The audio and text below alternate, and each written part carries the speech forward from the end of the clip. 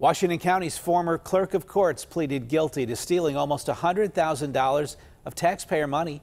Frank Scandale admitted to pocketing 24 deposits that should have gone into the county's account. He was sentenced to two years of house arrest and seven years probation.